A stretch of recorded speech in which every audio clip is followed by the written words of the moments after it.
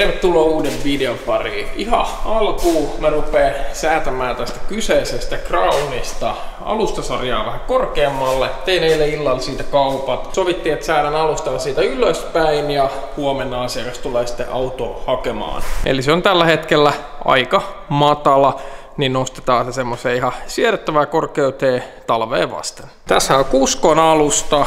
Säädin sitä nyt kolme senttiä joka nurkasta ylöspäin. Täällä on sitten viimeinen nurkka. Toi lukitus rinkula kiinni ja sitten mä lasken autoa alas ja tsekkaan, että onko se ok, ok joka nurkasta. Eli mittaa sitten navan keskeltä tuohon kaareen.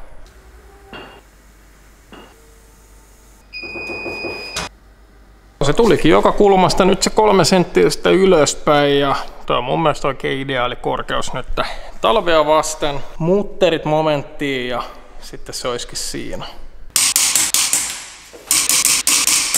Tilanne mulla on tosiaan tällä hetkellä se, että mulla on tää tontti, hallitila täynnä nyt autoja. Eli mulla on se vajaa 25 autoa. Toki tuohon saa muutaman vielä lisää, mutta sit rupeaa olemaan aika ahdasta.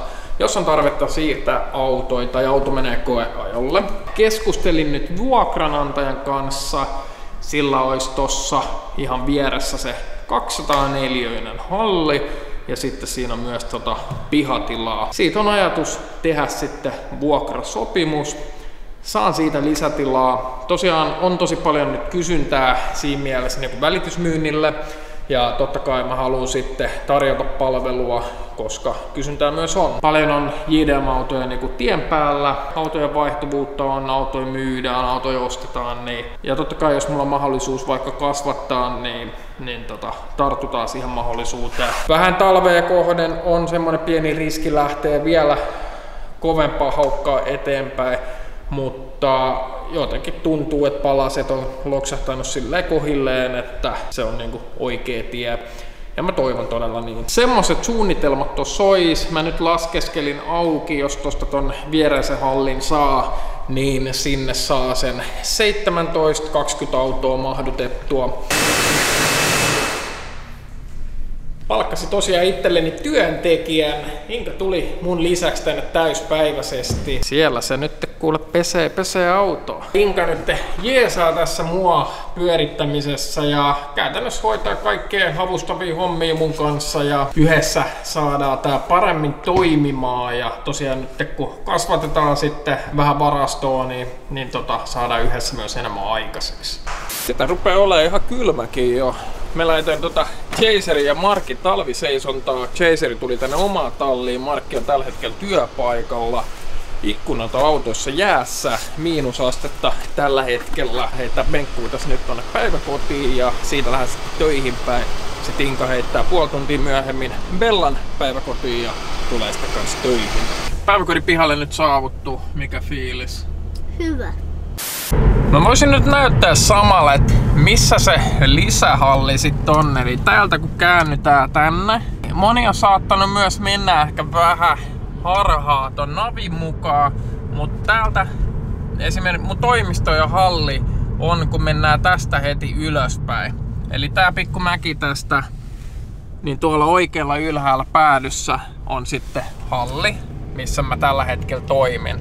Ja sitten tää toinen halli nyt, mä taisin yhdellä videolla sen näyttääkin, niin täällä on toi padelhalli ja sitten tätä vastapäätä on tää toinen halli.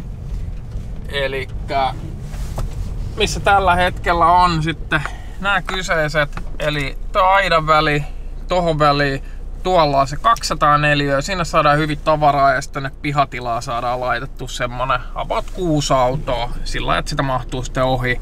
Mutta tähän kyseiseen halliin sitten tulee autoja myös. Siinä mielessä on niinku lähellä sitten, että jos pystyy ihan kävelemään ja hakea tosta hallista auton tai mennä asiakkaan kanssa katsomaan tohon halliin. Et tota, ihan, ihan tässä niinku nurkan, nurkan takana saa sitten paljon enemmän tavaraa tohon riviin ja pystyy tarjoamaan paljon enemmän sitten palveluita kanssa.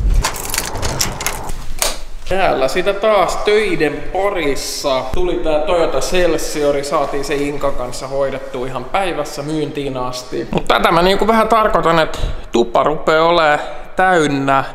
piha on tällä hetkellä täynnä. Se on aina niin, että ihan sama, mä saan ton tilan tuolta, se 204, se tulee täyttymään, eli mulla on lopputulema tää sama, mutta ehkä siinä on sitten silti ihan hyvä pysyä, ettei ole tarvetta lähteä kasvattamaan. Toki mä sanoin tätä jo ennen sitä 25 autoa, että 25 on aika optimaalinen semmoinen maksimiraja, mutta mä veikkaan, että se tulee riittämään kyllä sitten.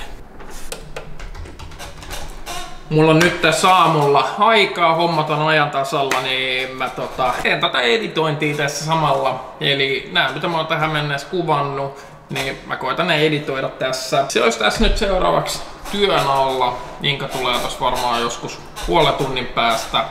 Katsotaan mitä keksitään. Pitäisi käydä ottaa jotain some, somevideoita, tuoda tiettyjä autoja esille. Jos on ollut vähän kauemmin vaikka rivissä, niin koittaa saada niitä sitten markkinoituu. Jos jotakuta kiinnostaa tämmöiset Option Driftin kuppijakkarat kyseisellä kuosilla, nämä on uutta vastaavat, nämä olisi myytävänä 650 jos kiinnostelee, niin toi kyseinen pari. Ja Blitzin Technospeedit, nämä oli mulla Aquan alla ja BBn alla. Jos nämä kiinnostelee, niin ota yhteyttä. 17 tuumaset, 4 kertaa 100 jakoset ET32 taisi olla noissa, niin tota, voi olla yhteydessä, ne vois olla myytävänä.